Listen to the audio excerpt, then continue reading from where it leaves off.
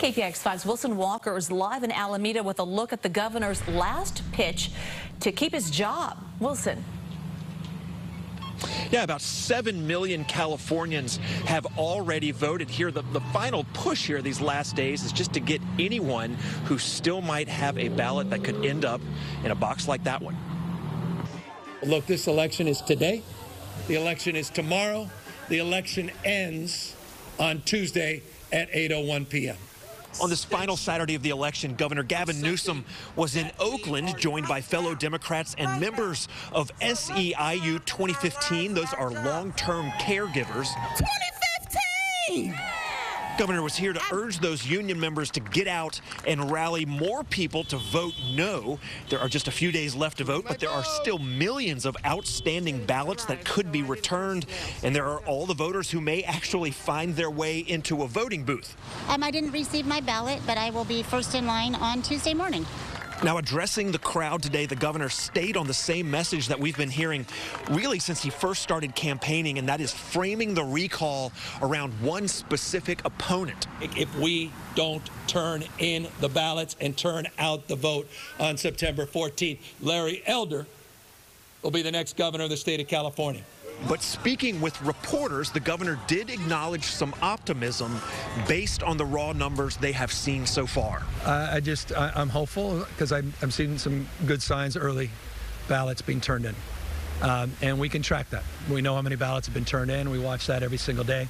Uh, you can actually go back and poll people uh, that have turned in their ballots. So you really get a sense of where you are going into Election Day pollsters are doing the same thing. This poll that came out of Berkeley yesterday that shows the 22-point lead, they went and checked with all the people that responded to their poll. They found about 40% of them had already voted. At least that's what they were told. Then they went and double-checked with the registrar's offices to confirm that number. So there is a decent set of data now on how voters are turning out in this election. And as you can hear, the governor's camp pretty confident here, uh, Juliette, going into, into these last couple days. You could you could kind of hear it in his voice there that he feels pretty comfortable with where things stand. You know, just end of July, early August, said to be a dead heat, a, a pretty dramatic dramatic shift there, and you can you can hear it in his voice. We will wait to see. We'll have coverage on Tuesday. Wilson, thank you.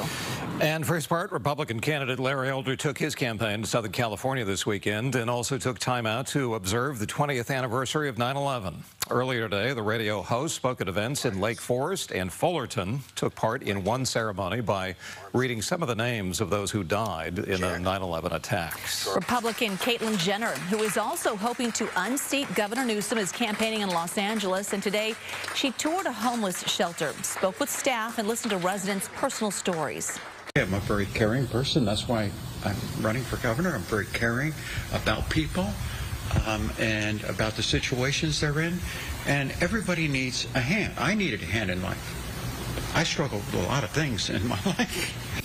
KPIX5 will have special coverage on election night and beyond. It all starts on the news at 7 and continues through the evening on CBSN Bay Area. We will also be bringing you live and streaming updates on Wednesday, starting with the KPIX5 Morning News at 4.30.